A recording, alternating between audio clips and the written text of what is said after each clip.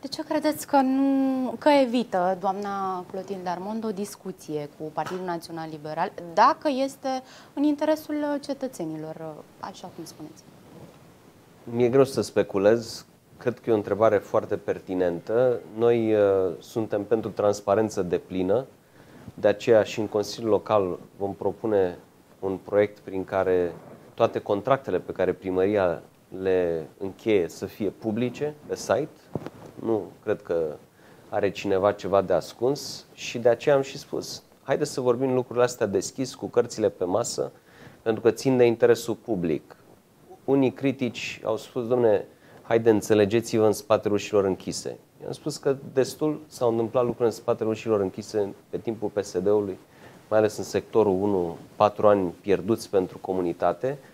Venim în fața oamenilor cu o ofertă comună, am venit cu un candidat comun, avem un primar care trebuie să dea sectorului un alt aer, o altă dezvoltare și să vină cu soluții constructive. Despre asta ar trebui să fie vorba și noi ne păstrăm în continuare optimismul că lucrurile se vor rezolva.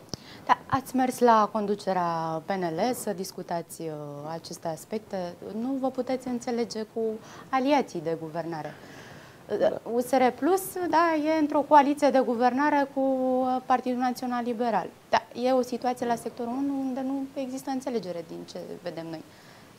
Bun. Ce spun uh, Acum, ședinții de partide, uh, ale celor două partide? Noi avem o comunicare extrem de strânsă cu președintele Orban, este și membru la sectorul 1, e deputat de București și în permanență abordăm subiectele și de interes național și de interes local.